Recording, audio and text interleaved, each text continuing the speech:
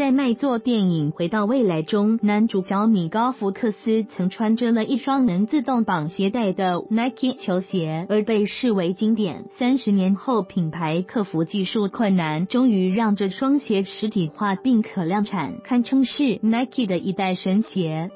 历经十年的研发过程，Nike 终于推出了 Hyper Adapt 1.0鞋款。创作概念奠基于2015年时的超限量 Nike Max 鞋，可是做其更进化的版本，就如同在电影中，当穿上鞋子后，它会做出自动反应，动态调整鞋带技术开始调整鞋带系统，直到让双脚感觉到舒适的包覆程度。穿着者可以透过鞋领部位面板上的及符号把鞋带调整的更紧或更松，全靠鞋底及两侧的感应器，甚至还能自设松紧度。系统会根据穿着者的双脚做出反应，调整到舒适程度，进而实现个人化，也是 Nike 的新里程碑。